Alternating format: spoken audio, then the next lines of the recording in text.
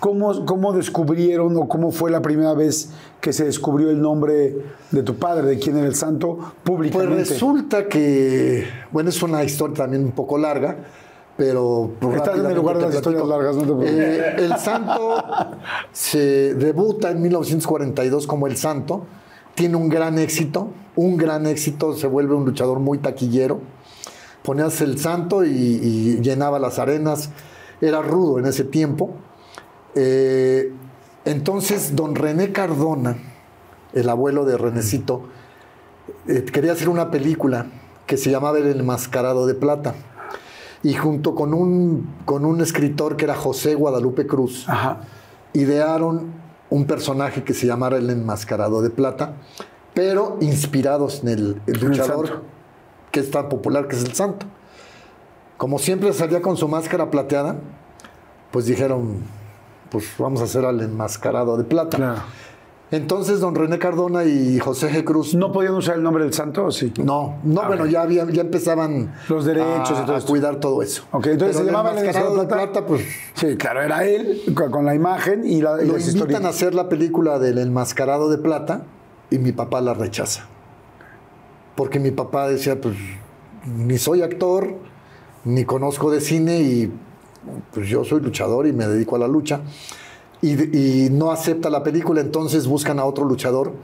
Y esta película tú la puedes ver en, en YouTube, eh, la, la protagoniza el médico asesino, que era también un luchador muy popular, pero pues era una máscara blanca, no era plateada, pero bueno, don René no, no, no quita la- el, el dedo del renglón, hace la película, eh, le va bien a la película, pero siguen insistiendo con mi papá, entonces eh, eh, René Cardona y José G. Cruz buscan a mi papá nuevamente, y José G. Cruz, que era un editor, eh, hacía historietas, y, y le dijeron a mi papá, a ver, Santo, ¿no quieres hacer películas?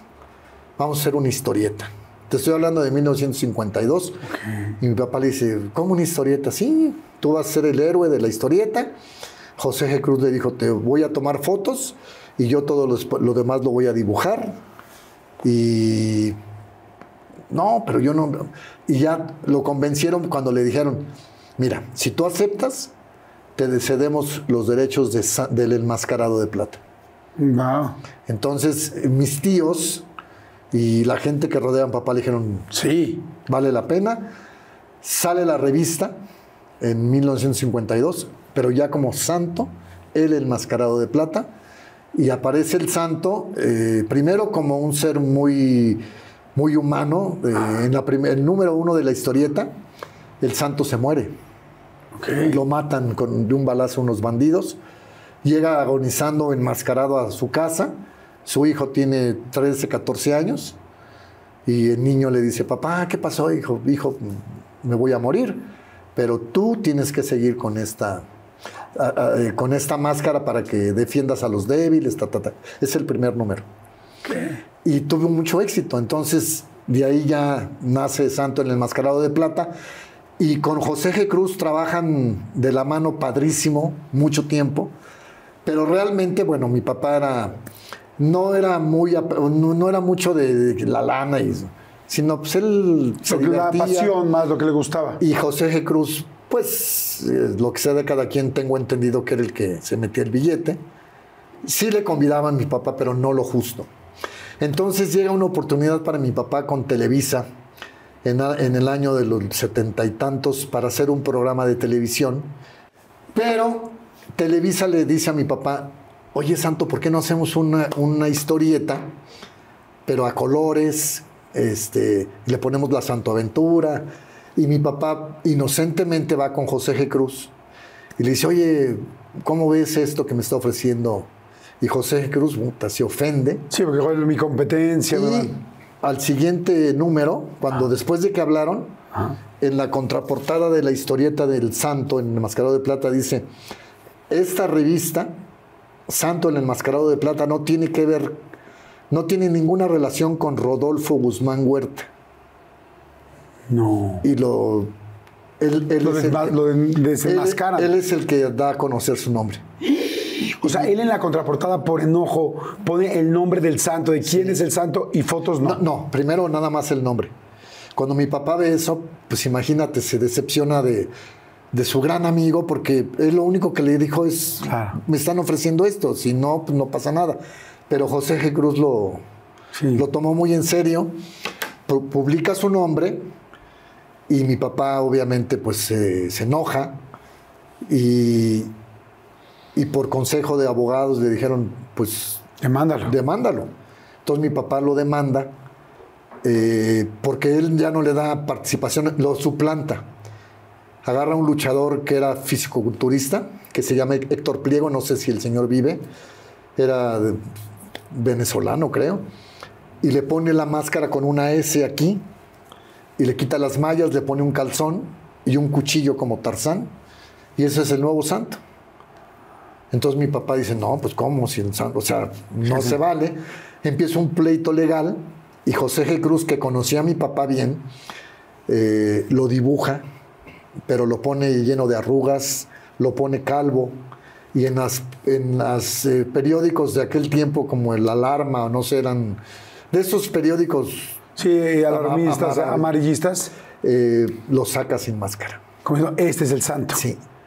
Y tenía fotos de mi papá, sin máscara. Entonces las publica, pero lo, lo envejece. Ay, qué mala y a mi papá le, le parte el corazón, porque tanto cuidar su... Y, y bueno, sus amigos le decían, profe, no te preocupes, la gente te sigue queriendo. Pero a él, a él le, Le- le le dolió mucho. Él, él sentía que era su buen amigo, su gran amigo José Qué Cruz. fuerte.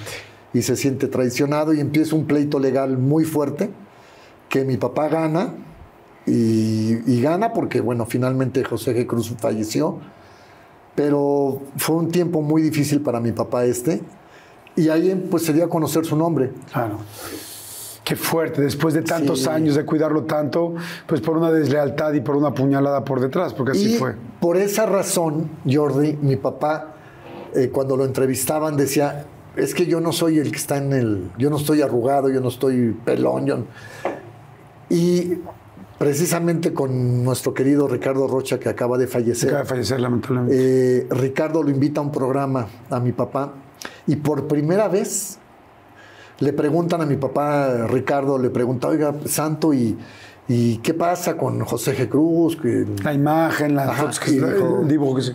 le dijo, mira, mano, yo no soy el que él dice que, que sale en esas fotos, yo no soy.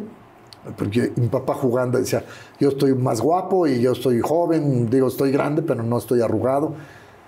Y por primera vez se levanta el cierre y se levanta la máscara hasta aquí, mi papá. Haz de cuenta que una actriz o una mujer se destapa un pecho, Ajá. pero se vuelve a tapar. Entonces, lo que Y un alcances a ver- segundo. Ajá. y Ricardo Rocha le dijo, Santo, no puedo creer lo que acabas de hacer, de lo que acaba usted de hacer, pero por el respeto que le tengo, jamás vamos a congelar esa imagen. Y entonces a mi papá se le hizo fácil volver, volver a hacer eso con Memo Ochoa, Ok. en hoy mismo. Y don Memo igual, respetuosamente, le dijo, Santo, Gracias. es que todos sabían lo que mi papá se cuidaba. Y le dijeron, le dijo Memo Ochoa, le dijo, Santo, lo que, lo que acaba de hacer, muchas gracias, pero por respeto a usted, no vamos a congelar la imagen. Y luego lo hacen contrapunto. ¿Con Saludowski? Sí. Pero don Jacobo, ese sí lo desaprovechó, Y congeló la imagen.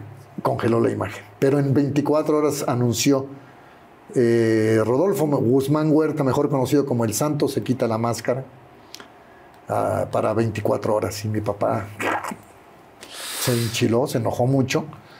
Le llamó, lo pasaron al aire y mi papá le dijo, licenciado, yo nunca me quité la máscara. Yo tuve la confianza de mostrar un poco mi rostro, pero, pero pues Jacobo Aprovechó la oportunidad. viejo de- lobo de mar. Pues sí, y fue algo mundialmente conocido. Y ahí, bueno, pues eh, a mí me dolió mucho porque, de, de hecho, yo le reproché a mi papá, le dije, ¿para qué te estás quitando la máscara? Y me dijo, tú no me juzgues, yo sé lo que hago. Pero ¿sabes qué, Jordi?